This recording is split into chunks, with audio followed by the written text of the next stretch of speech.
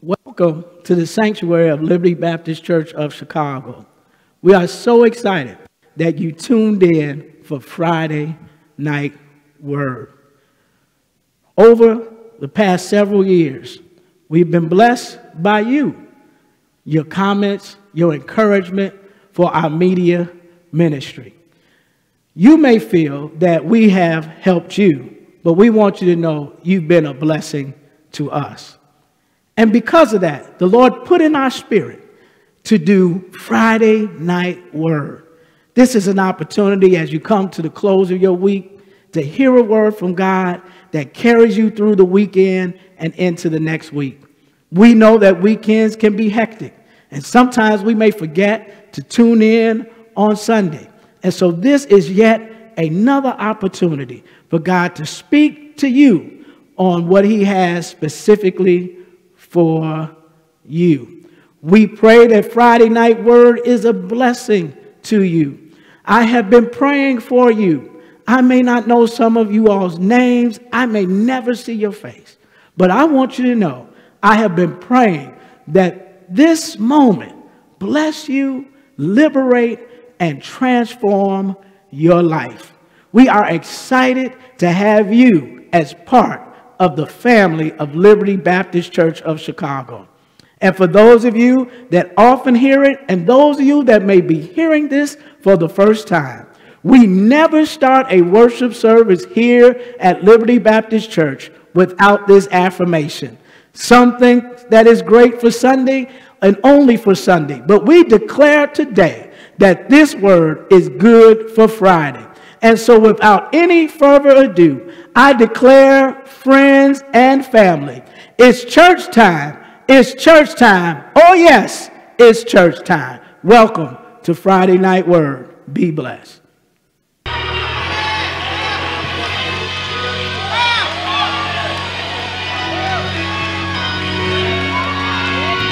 Go ahead and bless him. Come on and bless him. Don't wait for me to have to be crazy.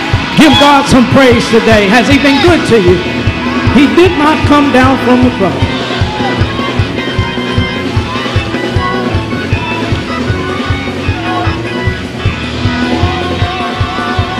I, I gotta praise, I gotta praise, and I gotta get it out. I gotta praise.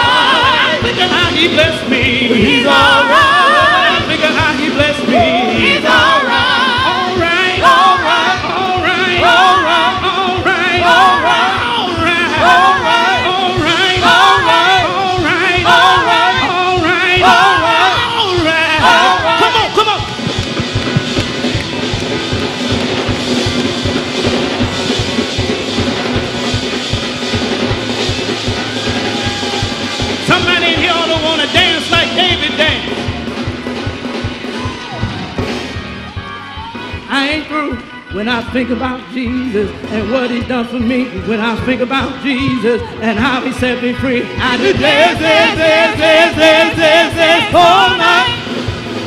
Oh, when I think about Jesus and what he done for me, when I think about Jesus and how he set me free, I do dance, dance, dance, dance, dance, dance,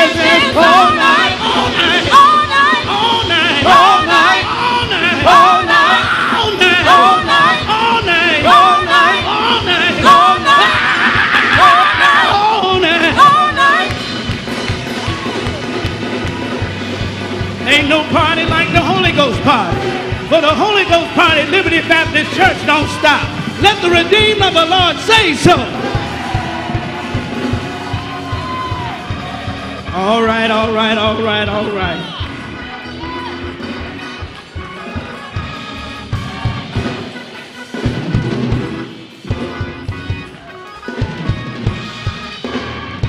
We thank God for this day.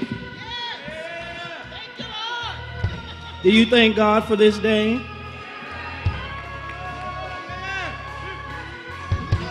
How many on to know to God be the glory? God be the glory for the things he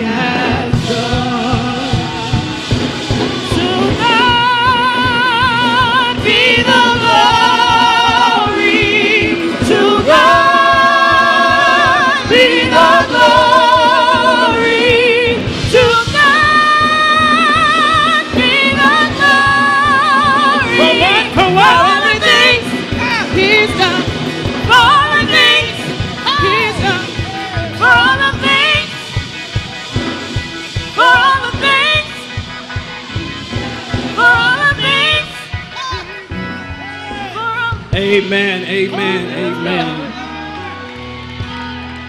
We thank God for this day. Um, Dave and Joe, take me down a little bit. Take me down a little bit. Take me down a little bit. That's why I didn't sing as much because I was up a little high. Take me down a little bit. Maybe in the, maybe in the monitors that are feeding back to me. Thank you. That's perfect. That's perfect. We thank God for this day. It's always good to give individuals their flowers while they are with us. Why don't we put our hands together for the matriarch of our choir, Sister Dorothy Peaches? Come on. Tell her thank you this morning. Tell her thank you this morning.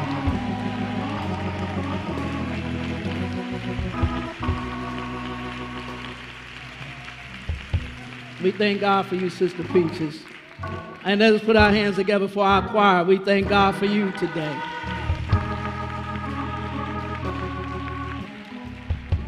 For those of you that are visiting with us today, we want you to know that at Liberty Baptist Church, we don't wait to Easter to thank God that He did not come down from the cross.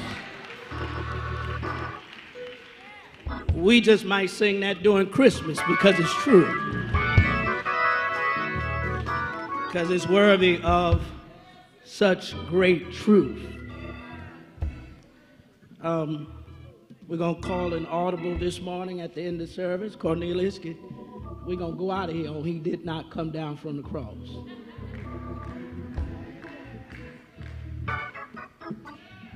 There is a word from the Lord today in the sixth chapter of Isaiah, the first eight verses. Isaiah 6, the first eight verses. And I'm delighted to see, we want to really get these two new members active um, with us in their proper capacities. I'm delighted to see Ezel Rowe, who is an ordained deacon from Metropolitan Missionary Baptist Church. I'm glad to see him with his red tie on today. You getting ready? Come on, let's put our hands together. All right, now we're going to put that suit jacket and some gloves on you, and you be ready to roll. You be ready to roll. I'm also delighted to see uh, Brother Jesse Reed, who I had the opportunity to ordain some 20 years ago with his red tie on today. Come on, Brother Reed, let them see you. Y'all have now been put on notice. Y'all been put on notice. We thank God for all of you here today. Won't everybody who is able to stand, won't you please stand in reverence to the reading of God's holy word?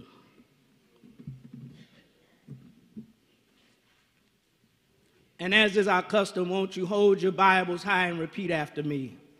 This is the Word of God. It has liberating and transforming power. I will praise God for this preaching moment. And I declare that after this moment, that I shall never, ever be the same.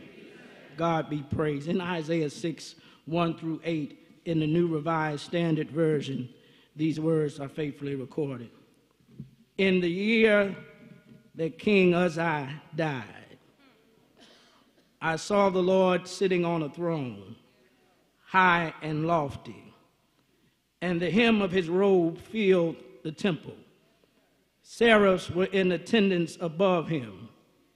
Each had six wings. With two, they covered their faces, and with two, they covered their feet, and with two, they flew. And one called to another and said, Holy, holy, holy is the Lord of hosts. The whole earth is full of his glory. The pivots on the threshold shook at the voice of those who called, and the house filled with smoke. And I said, Woe is me! I am lost, for I am a man of unclean lips, and I live among a people of unclean lips. Yet my eyes have seen the King, the Lord of hosts. Then one of the seraphs flew to me, holding a live coal that had been taken from the altar with a pair of tongs. The seraph touched my mouth with it and said, Now that this has touched your lips, your guilt has departed, and your sin is blotted. Then I heard a voice of the Lord saying, whom shall I send? And who will go for us? And I said, Here am I. Send me. May the Lord add a blessing to the reading and the hearing of his word, edification of our hearts and our souls. Amen. You may be seated in the presence of the Lord.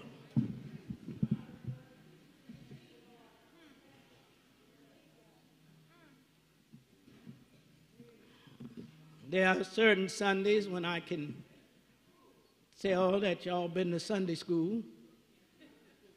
Because there are certain Sundays that while I'm reading the text, I can tell it is one of your favorite texts because you are amening and reading it with me as you've done today.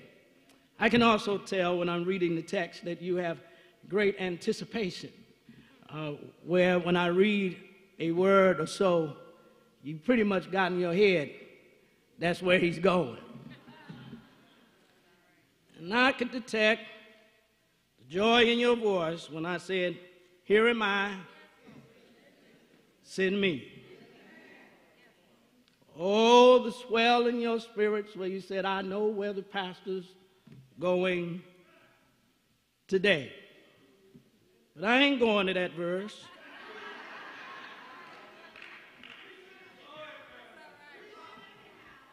I want to take you to verse 1. In the year King Uzziah died. I want to talk today for a few moments from the subject when your king dies. In the year that King Uzziah died. When your king dies. Look at your neighbor say, He's talking about you. Everybody in here got a king, and it ain't Jesus.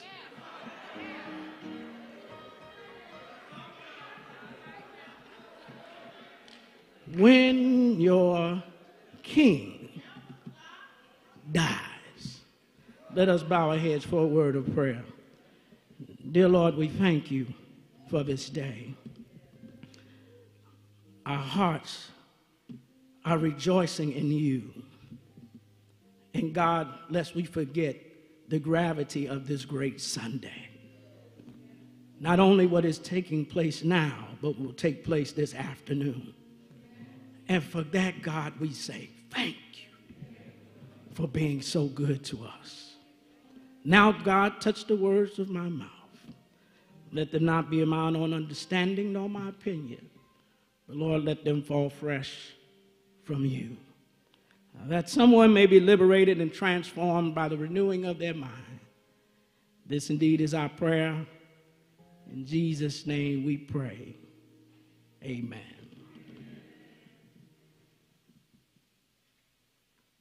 When your king dies. In Isaiah 6, the prophet Isaiah recalls the vision that ushers in his prophetic ministry. Not simply a vision, but a supernatural event. Well, God meets Isaiah face to face. Isaiah finds himself in what is known throughout the Old Testament and later in Revelation, as we've been studying on Wednesday night, the ancient throne room of God. Uh, this call from Isaiah is so intense um, that they are not angels that simply show up, but God Himself enters the throne room. The throne room of God that, although is magnificent, seemingly is inadequate because it cannot contain the glory of God's robe.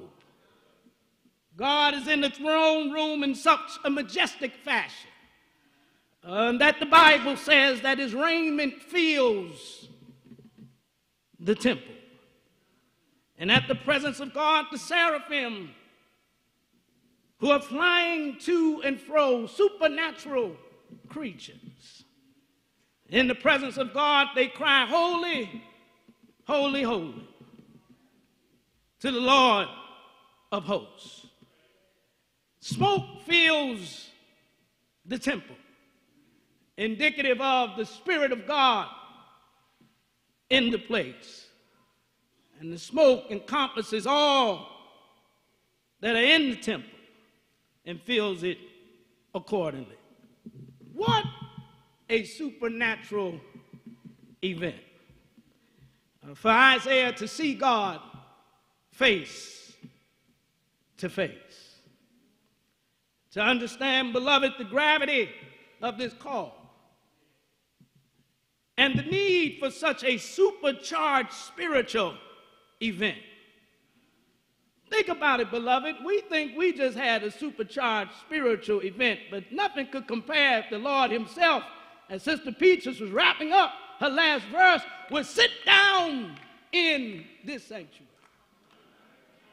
such a great remnant that would go across King Drive and such smoke that I could no longer see your faces. So understand the gravity of this call and the need for this supercharged event. We must consider the timing and circumstances of the call of Isaiah. The Bible, as you study it, more intently will always give you specific dates of why something is happening. And when you investigate those dates, you can further understand the text. Isaiah is intentional with telling us that all of this occurs in the year King Uzziah died. God bless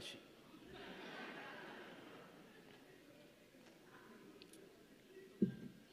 Think about it, beloved. Does not see this until the year King Uzziah died. When we understand the historical context of the great ruler Uzziah, we understand that prior to Uzziah's death, Uzziah represented the stability of the kingdom of Judah. Let me break it down. The economy was good, stock market was high, mortgage rates were low, everybody had a job. The country was secure, and things were moving along mighty nice. Uzziah takes the throne at the age of 16. And during this time, not only were they stable, but Judah expanded its territory.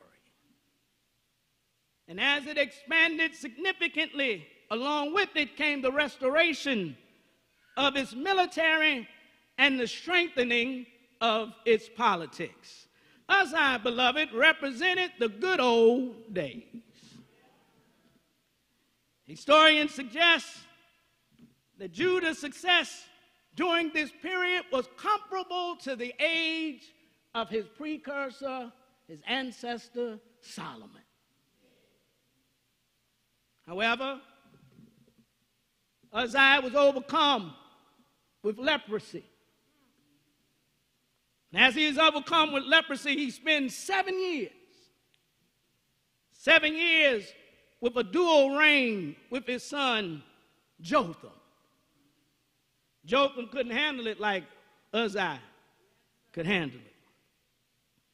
But as long as Uzziah was alive, Judah was secure. But after seven years of leprosy, Uzziah dies. King Uzziah dies in the year 742. 740 years before the birth of Christ. During this period, uncertainty rose up in Judah. Not only uncertainty internally, but externally. There was a Babylonian ruler by the name of Tiglath-Pileser. And Pileser had already taken over. I got to do this because some of y'all don't listen to Bible class.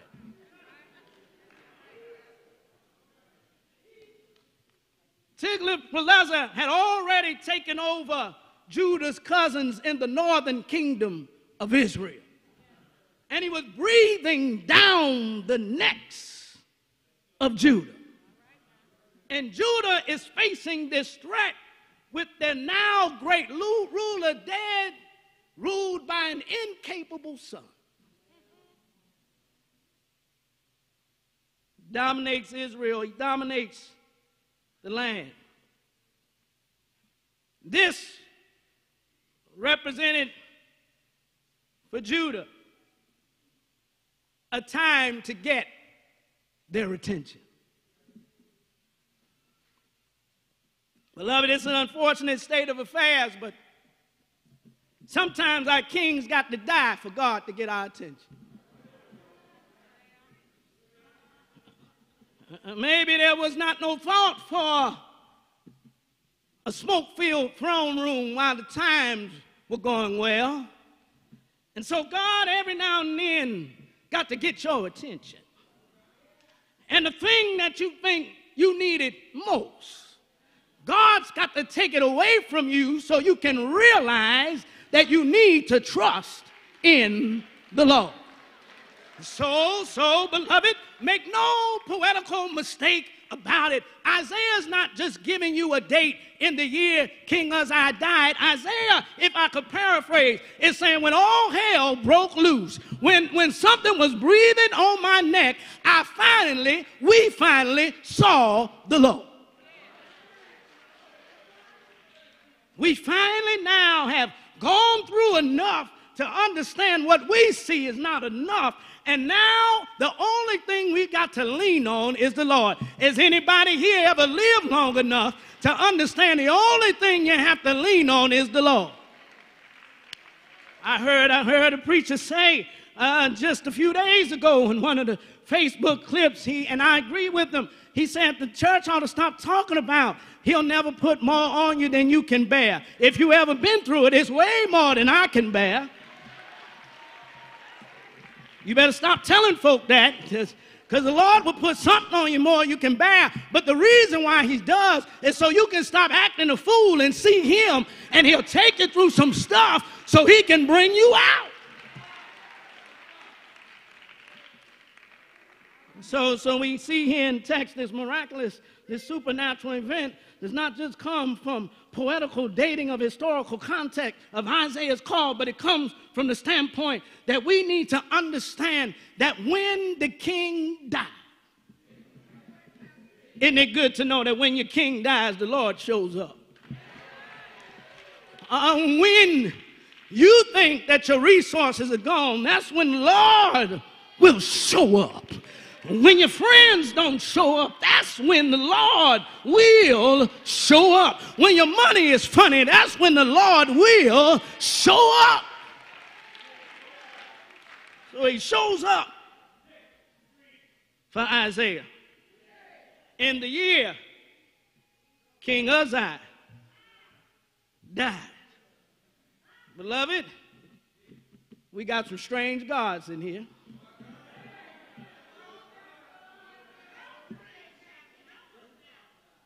You know what they are. You know what they are. I'm going to keep on saying it. That thing that you're so busy to do when you get out of church that you can't give God some praise, that's a king.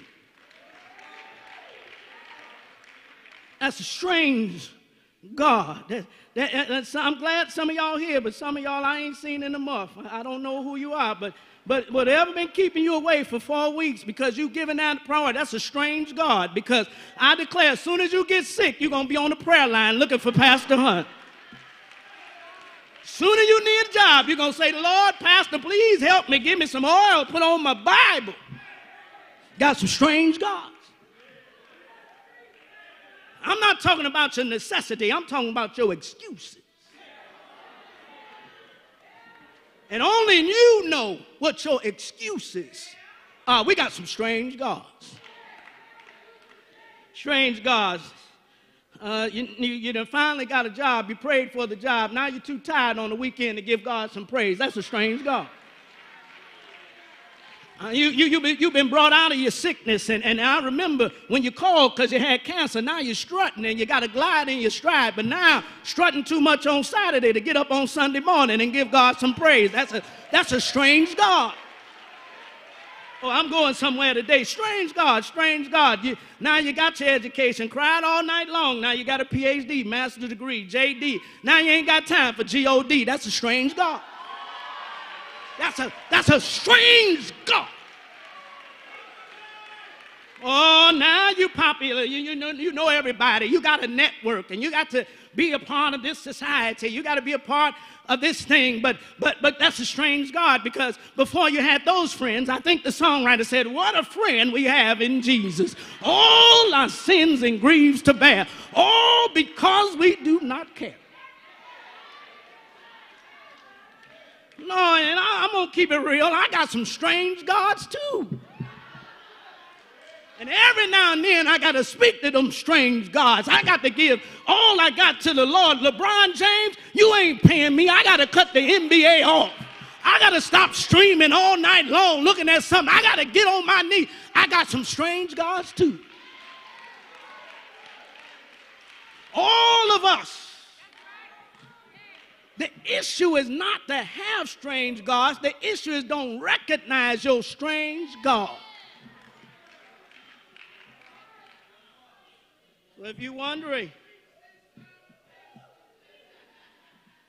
why you continually live a life of emptiness, it seems like you're never satisfied. That's because you got some strange gods. Because you, you coming to church looking for the choir to sing your, your favorite song, looking for me to kick my shoes off and throw my suit all across the church. And if, if I don't do that, that's not church. See, you, you feel that way because you got some strange gods. And the strangest God we can have is ourselves.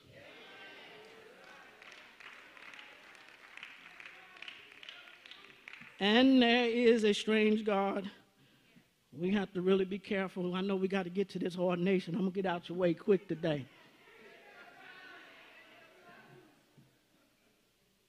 Even when we love the Lord, the strange God can be the church. Because our existence in church is not our spirituality, it's about our position. You know who you are. If you here because you got a title, you got a strange God. If you're only singing because it's your favorite song, you got a strange God. If you're more hung up in the style of clothes than the content of one's spirit, you got a strange God. So we got to be careful. I tell our leaders all the time, and I share with them. They say, "Well, Pastor, let's." I'll just give an example. Pastor, my my child is sick, or my husband is sick, and I can't be here. Well, don't let the church be your strange God. You got to go take care of your son. You got to go take care of your husband. Don't, don't let a strange God prevent you from doing what God has for you. And understand, because God is good, when you get back, we'll still be alive. See, you got a strange God when you think that if you check out, that the church won't move on. I, am not crazy. I'm, I'm the seventh pastor. There were six dudes before me that were here, and when I'm gone, there'll be another eight. We got some strange gods. Well, we think it can't go on without us. We got to tell folks, we appreciate you, but because God is good, we don't need you.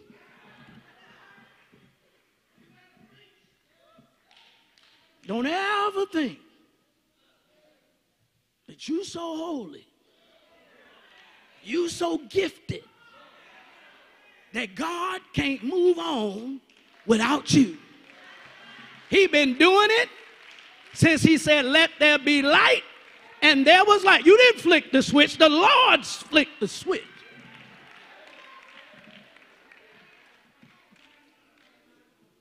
That wasn't on my paper. I'm sorry. I'm sorry.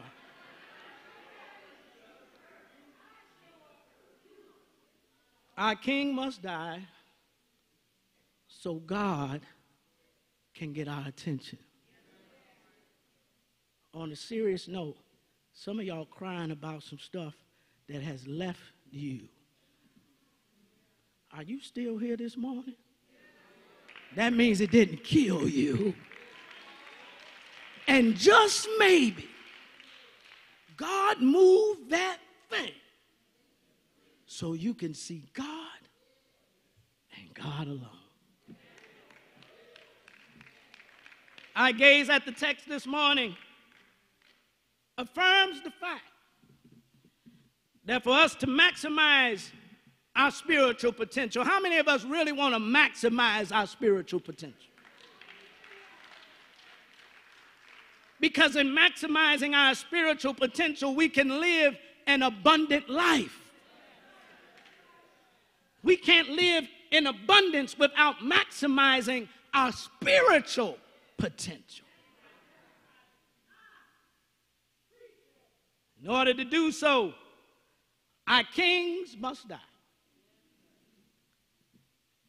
And when our kings die, there are several things that will come to fruition. When your king dies, you'll be in the presence of the Lord. Not only on Sunday, but when you get up in the morning, you'll feel the presence of the Lord. When you run in to life's barriers, you won't get so upset because you'll be in the presence of the Lord. That's what happened in the text. When Isaiah's king died, he found himself open to be in the presence of the Lord. And when you're in the presence of the Lord, the Holy Ghost will fill your room. See, smoke in the Old Testament is indicative of the Spirit. So not only will you be in His presence, but you'll be in the Spirit. And when you operate in the Spirit, your decisions are changed. I, I think the old songwriter said, He make me want to walk right. He make me want to talk right. He make me want to do right. When you maximize your spiritual potential,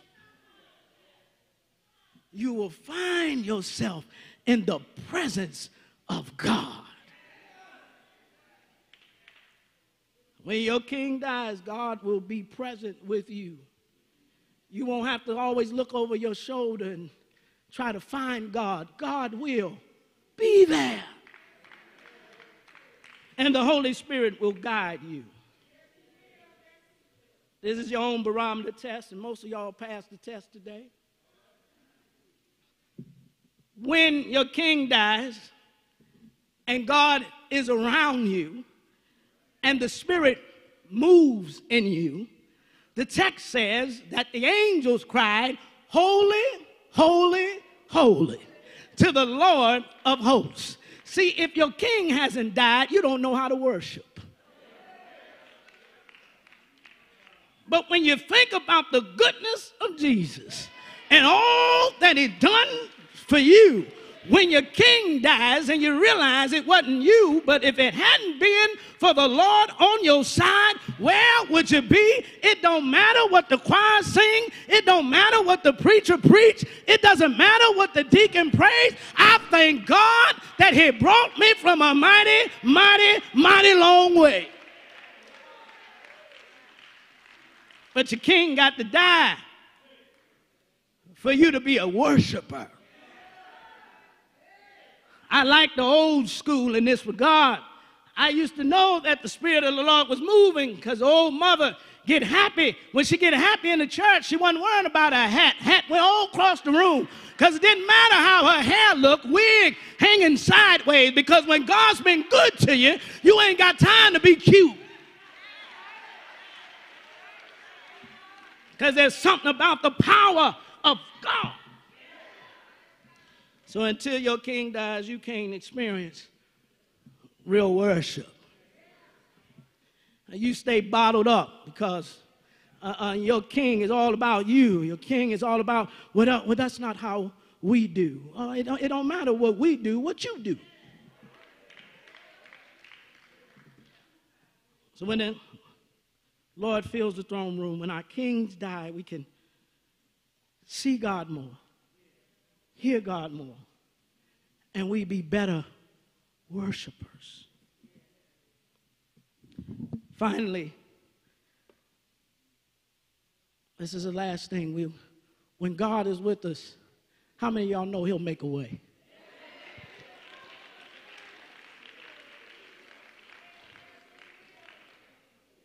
Finally, Isaiah's response to this moment, as he has a bird's eye view of God, is met with trepidation.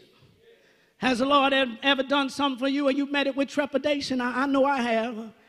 Lord, are you sure you want me to do this?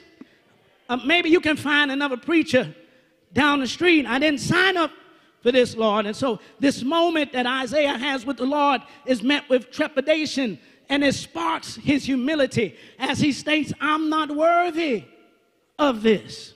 I'm not worthy of the grace that's granted to me in the throne room. He says, I'm a man of unclean lips, and all my partners got unclean lips. And we all from the wrong side of the tracks. Lord, why am I seeing this? I'm not in the pecking order of church hierarchy. I, my grandfather wasn't a preacher, and my uncle wasn't a deacon, and my mama wasn't a deaconess. Lord, why are you looking at me? I'm not fitting the hierarchy. I'm, I'm just messed up. I just been some places I shouldn't go to, but I'm glad God can clean us up. I'm glad that when we're in the presence of God, see, that's the key here. When you're not in the presence of God, you're holding on to old stuff, but God's saying He wants you to do a new thing. God didn't ask you where you grew up, God didn't ask you how much you drank and how much you smoked. All that God cares is, I got you today, and I'll clean you up, and I'll pick you up, and I'll turn you around, and I'll place your feet on solid ground. If you want to go, I'll help you go. Let the redeemed of the Lord say so today. He cleans them up. And I'm God glad today that seminary didn't qualify me. I thank God for Pastor D.L. Jackson, but Pastor Jackson couldn't qualify me. I thank God for my mother and my father, but they couldn't qualify me. I'm glad that one day I had a little talk with Jesus. I told him all about my troubles. He heard my fainting cry and he answered by and by. Is there anybody here that's glad today that God qualified you? Oh, when he qualifies you, it doesn't matter what anybody has to say. When he qualifies you, uh, you don't have any more excuses. When he qualifies you, you say, I'm ready to go to church.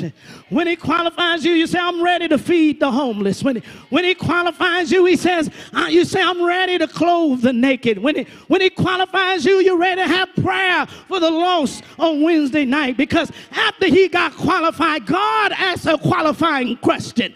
God says, Who can I send?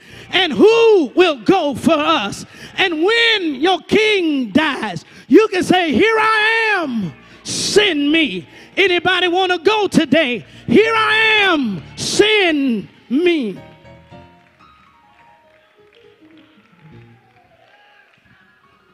When we answer the call, we do not answer alone. For those of us who experience the throne room of God, I stopped by to give you the good news. The good news is even when your king dies, provisions have already been made for you to have a king of your own. All you got to do is reach out to him. And this king has power. And come on, psalmist. For the psalmist says, when we look for our king, lift up your heads, O ye gates, and even lift them up, ye everlasting doors, and the King of glory shall come in. Not talking about Mayor Brandon Johnson, not talking about J.B. Pritzker, not talking about Biden, Kamala, Trump. No, I ain't talking about Obama. I'm talking about the King of glory. And I got a king. So lift up your heads, O ye gates, and be lifted up, ye everlasting doors, and the King of glory shall come in. Who is the King of glory? The Lord strong and mighty, the Lord mighty in battle. Lift up your heads, O ye gates, even lift them up, ye everlasting doors, and the King. How many of y'all want my King? And the King of glory shall come in. Can I get one more time? Who is the King of glory? Who is the King of glory? The Lord of hosts. He is the King of glory. Somebody say, Yeah, yeah, yeah. Well, I'm going to get on to the ordination. So let me wrap this thing up. The king in the throne room knew that I needed another king. So the king sent his son down through 42 generations. He sent a king who died on Calvary's cross. But this king was not like natural kings. For this king did not come down from the cross just to save himself, but he decided, he decided to die just for you and me. Ain't that a good king? But I'm glad today that he didn't just die on Calvary's cross. He didn't just lay in Joseph's tomb, but early Sunday morning he got up with all power in his hands. My king will never die. He's coming back again. How many of y'all believe it that he's coming back again? Somebody say, Yeah!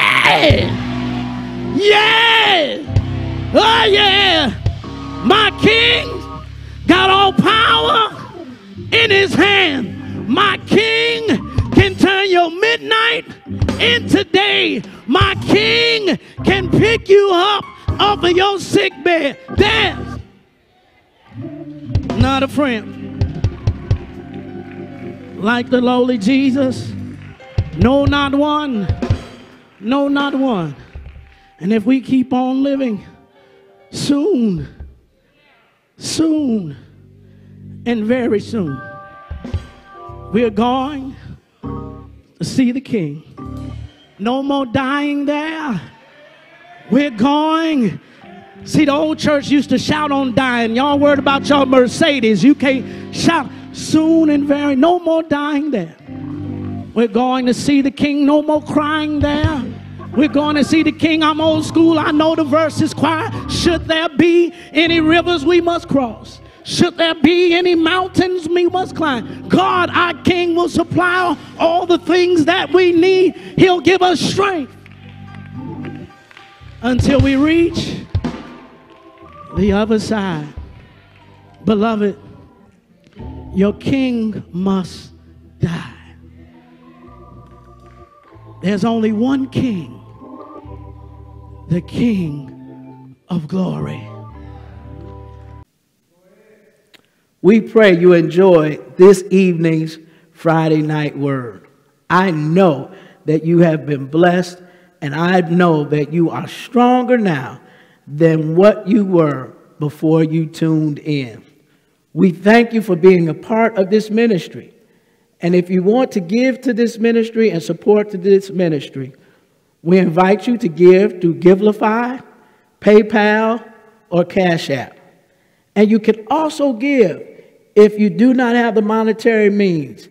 You can give to this ministry by sharing the good news and sharing this message with your family and friends and telling everyone about Friday Night Word and about Liberty Baptist Church of Chicago.